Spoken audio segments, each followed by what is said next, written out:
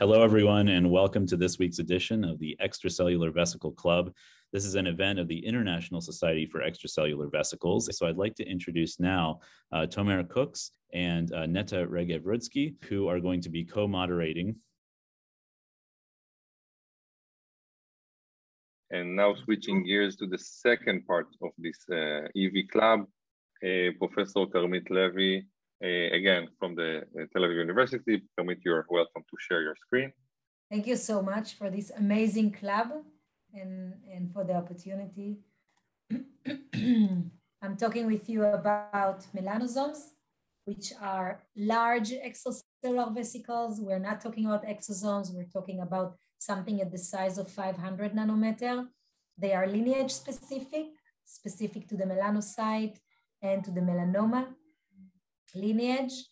Melanocytes are making them in our skin. They are filled with pigment. This is what gives us the skin tone because they are being made in melanocytes and are spread in our skin. And this is our their major known role is a role for them to carry pigment and spread in our body um, externally so we can see it mostly. Um, they carry different type of proteins inside and microRNA, and I will talk about all of that but it's just to clearly say that they are very distinct than exosomes. So as I said, as Tomer said, I'm from Tel Aviv University, and I will talk with you today about melanoma. This is a short introduction into melanoma, into our research field. This is the skin, epidermis and dermis. Here we have the melanocytes. It's a cell specific that is specialized with those dendrites to produce pigment and spread it in our skin following UV exposure, it will be the skin tanning. And we also have, each one of us has their own skin tone. Uh, when bunch of them are together, we have a nevi. Uh, when there is a malignant transformation, either from the melanocyte or from the nevi, one would get melanoma. This is one type of skin cancer. Skin cancer can also be from keratinocytes, from the other type of the, the skin, but these type of skin cancers are much less aggressive. They are not metastasized almost. And the one that is lethal and metastasized is melanoma. And melanoma have these distinct growth stages. So the first stage of melanoma is this massive growth within the epidermis and cells are not penetrate down to the dermis and only in the dermis they meet blood veins and lymphatic veins so they can generate metastasis, what kill the patients basically. But this stage where they are growing is a stage where, where we, we need to take care and, and see whether it's been seen outside as a suspicious nevus or some kinds of a growth, an abnormal growth on our skin. This can take years until the cells are migrating. So we have a great opportunity to understand what's going on here and to figure out ways to block it. So to prevent the cells from penetrating to the dermis. So that, that's a question that my lab was dealing with and dealing with. And it's basically trying to figure out the primary stage of melanoma. Here is pathology, pathology sections. Again, the epidermis and the dermis. This is normal skin. This is melanoma in situ. Just to remind you, this is the melanoma in situ, is the melanoma that is stuck in the epidermis still and not being penetrated to the dermis, invading to the dermis yet. So here you can see melanoma in situ. And this is the dermis is completely filled, all this purple. It's a nucleus of cells. Um, melanoma is completely filling the dermis. These are the three stages that you can see in pathology that I was showing you in a, in a cartoon. Now you can appreciate that there is something going on in this dermis. So the dermis here and the dermis here look very distinct from each other. That caught, caught our attention. When we were staining for melanoma, okay, this is in red, we were staining for melanoma or melanocytes. You can see here the melanocyte in the normal skin and then melanoma stuck. This is the, we marked here the epidermis, melanoma is still here. And this is melanoma completely invading into the dermis, very aggressive disease. And you can appreciate again how the, the dermis is very dif different from each other here and here. And melanoma is still haven't invaded yet to the dermis, but the dermis somehow is changing in close proximity to melanoma, it's like it's like almost the dermis is sensing that there is some tumor going on on top of it, right, right eh, above it. When we were zooming in into that area of dermal fibroblasts that are proliferating and gathering here, we saw some red dots. Melanoma is stained in red, and we saw some red dots here. When we stained for melanosomes, these are the vesicles that melanocytes and melanoma knows to produce, we saw clearly that the dermis is filled with melanosomes prior to melanoma invading into the dermis. You can also see it here. These are the melanosomes that I showed you on the first slide. So melanosomes are large extracellular um, vesicles. They have this very nice string inside, which is the base for the production of pigment. And most of the research about melanosomes is for their ability to produce and ship pigment. And from some unknown reason, melanoma is retained this ability and keeps secreting those melanosomes, as I showed you here in the primary stage. The dermis is filled with it. So what's the deal? What do melanosomes do? In this paper, what we did, we, we took fibroblasts, dermal fibroblasts, we simply treated them with melanosomes from various sources, so from various melanoma and from normal melanocytes, and we saw that the melanoma melanosomes transform them into cancer-associated fibroblasts, increasing their proliferation, increasing their migration, and when they were, this is when we were trying to block the melanosomes production and to see that we are blocking the migration, and when these fibroblasts were treated with melanosomes prior from meeting melanoma, once these fibroblasts met melanoma, they enhanced the growth of melanoma in vitro and in vivo, which completely resemble for the fact that those fibroblasts were transformed into cancer-associated fibroblasts. We next figure out the mechanism. We were shaving these melanosomes, uh, taking uh inspiration from exosomes papers, so we were shaving them with RNAs or with trypsin, and we saw those small RNA population inside of them.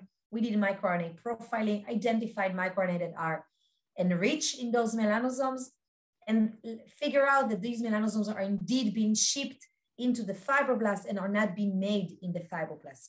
These microRNA can recapitulate the effect of the melanosomes and can give us more clearly what are the targets of those microRNAs, the shipped through those melanosomes into fibroblasts and which target genes do they target and what is the signaling that is coming to action. And the signaling that we were focusing on is the IGF2R blocking and then uh, AKT.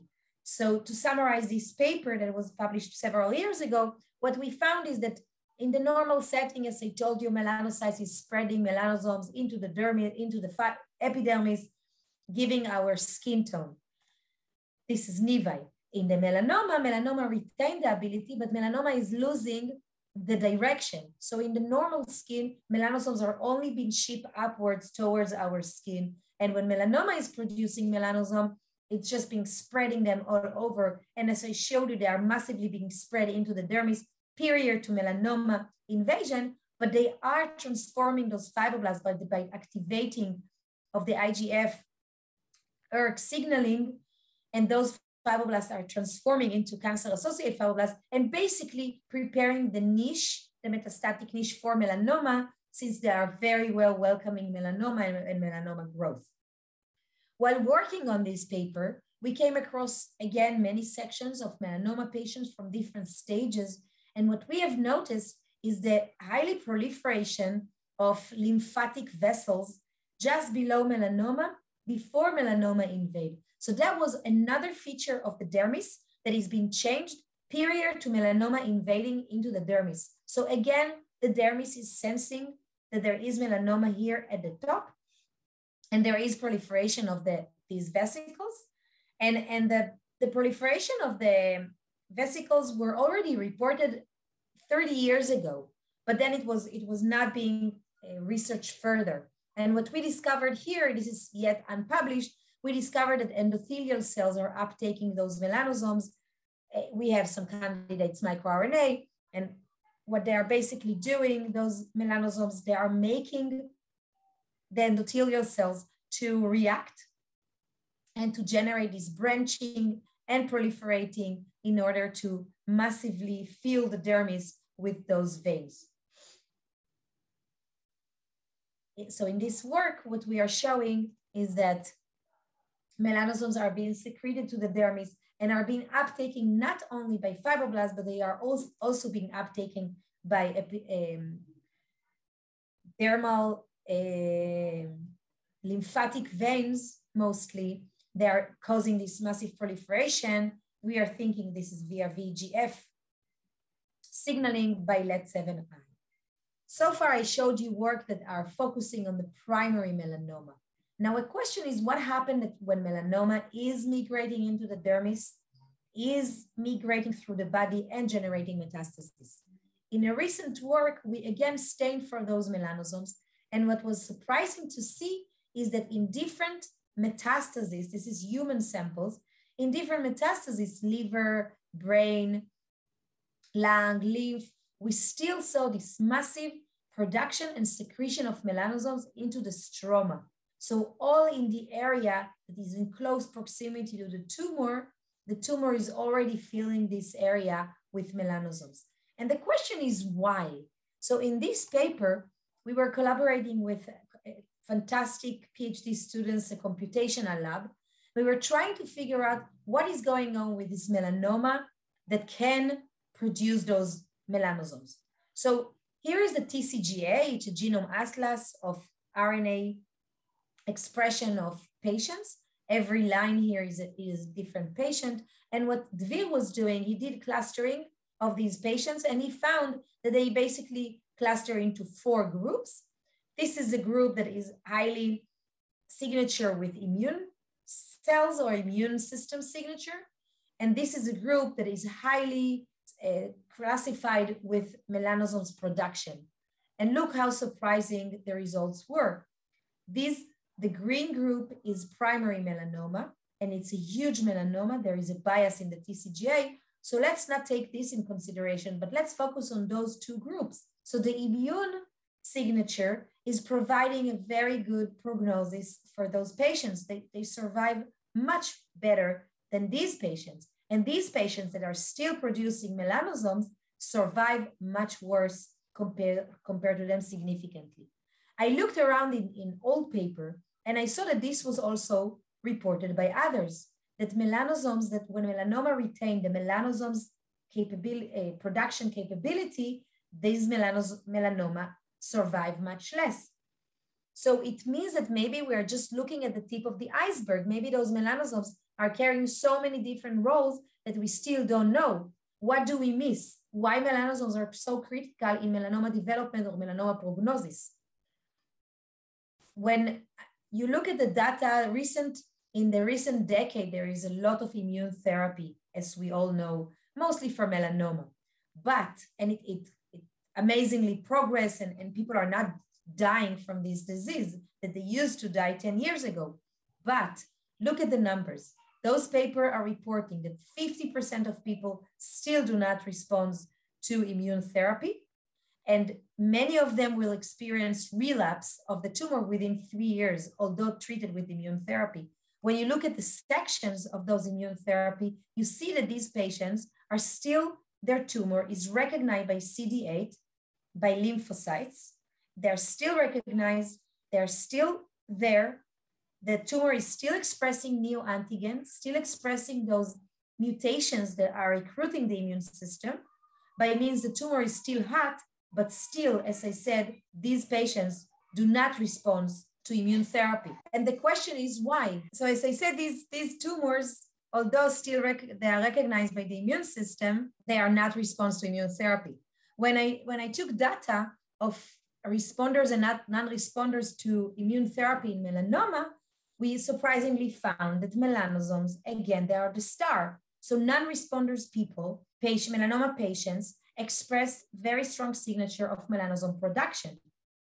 Again, I went back to pu publication from the past and I saw that Slominski already reported that when he blocks pigmentation, see it's over a decade ago, he blocked pigmentation, he increased the T cell toxicity.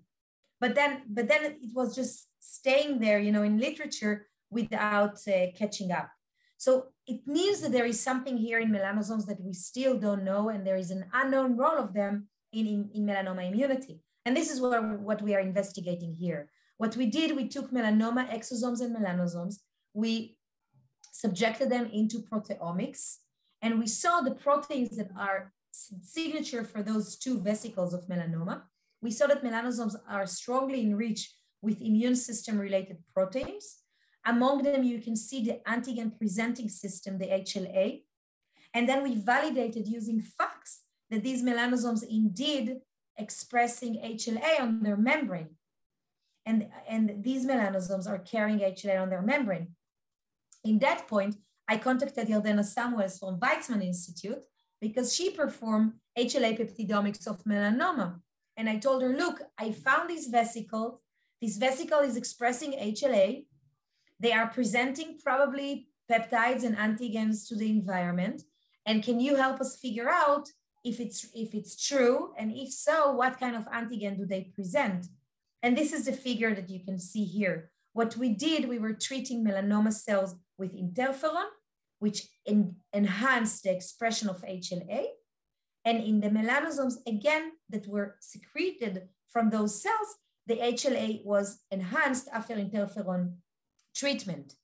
Then they were subjected to all these uh, sequence of uh, filtering and cleaning and colons until we got the data of the HLA peptidomics. What was striking is to see, you can see the that it's the similar between melanosomes and melanoma. And you can see that the affinity of the vesicles to antigens is very different than the affinity that melanoma cells have for those antigens. And those melanosomes have much higher affinity to antigens compared to the cell. And not just that, when you are investigating the genes or the peptides that are being held by those melanosomes are different, are distinct from the genes that are being held by the cell, which means strongly indicated those melanosomes are going out from the cell, carrying this HLA. The HLA is in the right position for carrying antigen, and they are shipping out from melanoma to the environment, as I showed you in the different metastases, and they are carrying a role, which we still need to figure out. A little bit of showing you data in culture. Here is melanoma cell. This is SEM microscopy. So here is melanoma cell, and this is a T cell that is recognizing melanoma and coming to kill it. But when we were treating this sample with melanosomes, the recognition of the T cell of melanoma was very much weaker. And you can see here, when we were measuring the caspase-3, so we were measuring melanoma killing, melanoma killing was much smaller when melanosomes were around.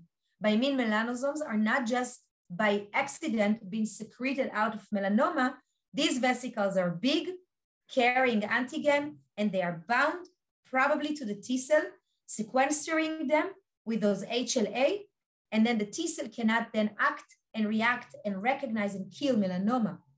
We then collaborated with the Soraski Medical Center and with Sheba Medical Center, two big centers in Israel. We took melanoma patient samples with their uh, tumor infiltrating lymphocytes. And again, we were extracting melanosomes from those patients. We were crossing between melanosomes between patients, and we saw that it's very specific. So it's a patient specific melanosome. And those melanosomes of patient were capable of blocking the activity of the cytotoxic uh, T cell and blocking their uh, work as killing melanoma. So summarizing, I showed you two works that are focusing on primary melanoma and how melanosomes are being spread in close proximity to melanoma and are modifying both fibroblast and endothelial cells here. And I showed you a work that now we are working on, and this is more into melanoma immunity. It's, it's more into the later, more later stage of melanoma, metastatic melanoma or invasive melanoma, rather than the primary melanoma. Uh, I want to thank my wonderful group. I put here people from the past and, and, and the current in the lab because many have done the work that I showed you. A big thanks to all of our collaborators and, and to funding. And again, thank you very much for this uh, club and opportunity to talk about things. And we have open positions. thank you. Thank you. Thank you very much for this uh, packed and fascinating talk, Karmit. Uh, I will go and read out uh, several questions. So I think it, it, uh, I, I, kind of went through So people want to understand exactly what melanosomes are. So can you define it? So so uh, Clotilde asked, uh, for, for, for me, melanosomes is the, the name for intracellular uh, compartments where melanin is, is made in melanocytes. Do, do you choose the same name for EVs on purpose or you do distinguish between exosomes and melanosomes and how? Melanosomes are, you can distinguish, distinguish between them and exosomes in many ways. First of all, they are bigger. So when you're doing electron microscopy, you can see that they are large. They are more in the shape of an olive rather than circle as exosomes. So they are larger. They have those stripes in the middle, which on those stripes, we have the tyrosine placed and then tyrosinase is, is changing them into melanin. So it is, it, it's a whole machinery for making pigment. Everything is loaded inside and it's an independent machinery that walk around there are four stages of maturation of those melanosomes. They secreted out of the cell from, for melanocytes in order to provide the skin tanning and protection from UV. They are this so is their major role. And that's the physiological role. And you're saying, or, uh, so in melanoma cells, they have uh, they acquire oncogenic roles. Yeah, that's what right. we are investigating. And also the difference between them and exosomes Exosomes are found in the blood of melanoma patients. They are secreted, they are circulating, they're going far to the lung, to the bone marrow. So far, there are zero evidence that melanosomes are circulating. So what we think is because they are so big and they carry a role in close proximity to melanoma, they also carry different roles than exosomes. We also have proteomics and, and microRNA profiling of those two vesicles that we know that they are distinct from each other. Yes, but let's suppose uh, we, we look at metastatic melanoma in the brain or somewhere, they would also produce melanosomes and they would also interact in the proximate uh, microenvironment of the metastasis, I'm assuming, right? Yeah. Uh, okay, let's let's continue. Are melanosomes similar to oncosomes? So that okay, we covered that. Uh, how did you look at ECM changes uh, uh, Uh, after melanosomes taken up by stroma cells? Oh, ECM is a very things. good question. We haven't looked at ECM directly. We are now working on it. We are looking now at ECM, but we are coming from the angle of macrophages. So macrophages that are taking care of the remodeling of the skin. So we're doing now some experiments of how melanosomes are, are affecting the cells that are making ECM. We didn't look at ECM directly. It's a good point. Okay. Uh, any idea about microRNA uh, and, and NIR211 a copy number in melanosomes as well as in melanosomes receiving fibroblasts? Copy number, so, so copy number. you mean, you, what do you mean? You mean how many microRNA, how many copies of MIR211 exist inside melanosome? Right, that's what I understand from the question. Maybe Maurice uh, We, we didn't do RNA-seq. So if we would do small RNA-seq, we would get the reads and then I can tell you numbers. What we did, we did an array of which is relative amount. So I can tell you that it is enriched compared to the cell. This is how we, we came to the conclusion that it's enriched, but I cannot tell you copy number. And do they also contain DNA? Have you ever checked? Oh, that's also that's also a very good point. I I don't know. We we don't we just started. You know. I wonder who uh, asked the taking question. Taking out the dust. Hmm? I wonder who who uh, wrote this question. Um, we can easily check it because if you know of any DNA binding protein, because RNA binding protein exists in the proteomics for sure. If you know of any DNA binding proteins, we can I can send a mass spec of those melanosomes and we can easily right, detect right. whether it's there. Okay, uh, can you see histones, for instance? I we need to look for it. It's a very good point. I we didn't we ignore DNA until now. uh, can uh, how long can we uh, continue? Because there are like several more questions. Can we just go on? Well, yes, uh, yes. We have uh, we have a little bit more time, so you're welcome to continue. Fantastic.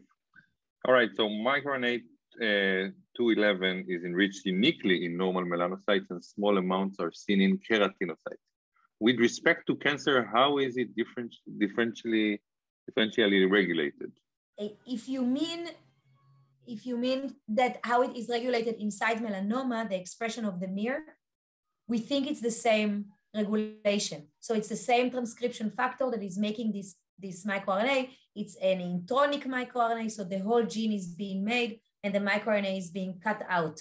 So I, I think it's a good point, but as far as I know, and, and I have investigated the expression of this smear, the regulation of the expression is similar, same machinery. Why it is expressed in keratinocytes? I, because it is lineage specific, the host gene and the microRNA are regulated by the transcription lineage factor, MATF. So it is only expressed in the melanocyte lineage, the 211. So if melanocyte, if keratinocyte has it, it's probably come with the melanosomes that were carrying it with it. But I can tell you that when we when we uh, compare the microRNA inside normal melanosomes and melanoma melanosomes, they are different. MIR211 is still there because it's very lineage uh, microRNA. But other microRNAs, some are enriched, some are less. Uh, were the T cell melanosome experiments with tumor antigen specific T cells or RT1 with melanoma pools uh, with peptide antigen? Uh, question mark. Wondering if this is a suppression of antigen recognition or overall T cell function. Ah, that's a very good point. Um, we are figuring it out these days. What we think from the more data that we have, if it's something that is in your interest, we can talk more after. But so far, we were using the OT1. So we have the OT1 T cell that are recognizing the uh, OVA on melanoma, and we have the melanoma, and this is the paired. We were treating with those melanosomes of OVA compared to melanosomes coming from B16, regular B16 that doesn't have the, the antigen. And we saw that it is antigen specific. So what we are thinking is that the T cell have the TCR and the HLA with the OVA or the HLA with the antigen are bounding to the TCR and that's it. The T cell is being now chopped. It is catched by melanosome and then it cannot anymore with the TCR go and recognize melanoma. What happened to the phenotype of the T cell? I think they are going through ex exhaustion because they are being just hanging out there without getting into their final stage, into their signal two of uh, secreting the perforin and killing melanoma. So I think that they are staying exhausted. We still haven't performed the RNA-seq. This is really ongoing research right now. Um, what about uptake into other types of immune cells? Very good point also. Yeah, it's very good questions, all the questions. Um, other type of immune cells. We are studying now, Roma is studying in the lab macrophages because macrophages are just, you know, they are running around our skin and they are the eye robot of the skin. So they are uptaking everything. The tattoo, tattoo that we have is basically macrophages that uptaking the pigment. So if they are if they are taking normal melanosomes, that's fine. But if they take melanoma melanosome, this is something that there are thousands of papers about macrophages two papers de describing melanosome and macrophage interaction. So Roma is doing a beautiful work about macrophages and how they are being also transformed and affected by those uh, melanosomes. But that's it. Like a, uh, the, Shivang is also doing a work with the interaction with B cell. We are thinking that there is induction of anti-melanosome production of antibodies, and that's it. So, you know, there are a variety of others that we haven't touched yet. Okay, does, does the melanosome HLA1 uh, immunopeptide differ significantly from cell surface, i.e. known tumor antigen and tumor specific antigen peptides? Uh, well, that's also a good question. The HLA, I think it's the same. We haven't characterized it specifically the HLA. I assume it's the same because Yardena somewhere is using the same column for both of them, for the HLA coming from melanosomes and HLA coming from melanoma. So she's using the same column, same. So I, I guess it's the same HLA shape and characterization.